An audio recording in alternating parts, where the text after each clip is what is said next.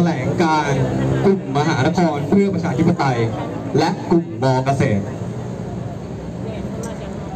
ในห่วงความขัดแย้งทางการเมืองของประเทศที่ผ่านมานี้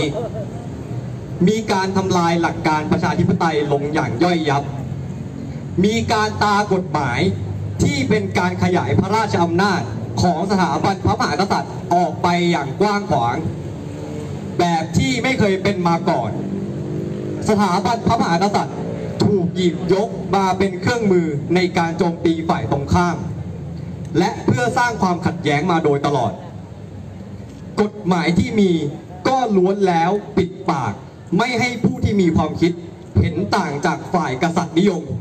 สามารถแสดงความคิดเห็นได้ กฎหมายซึ่งการแสดงความคิดเห็น ได้นี้ได้ผิดหลักการเสรีภาพในการแสดงออก และการแสดงความคิดเห็น หลายคนถูกจำคุก หลายชีวิตต้องลี้ภัย หลายคนต้องเสียชีวิต และหลายชีวิตต้องสูญหาย โดยไม่สามารถสืบหาล่องรอยได้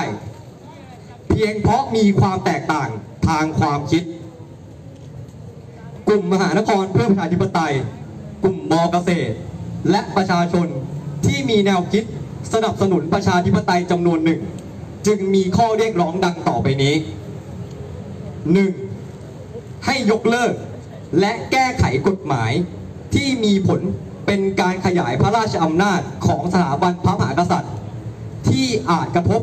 กับระบอบประชาธิปไตยอันมีพระมหากษัตริย์ทรงเป็นประมุข 2. แก้ไขกฎหมาย หมิ่นพระบรมเดชานุภาพ ให้สอดคล้องกับระบอบประชาธิปไตย และไม่ละเมิดสิทธิมนุษยชน 3. ต้องรับฟังเสียงของนิสิตนักศึกษาและประชาชน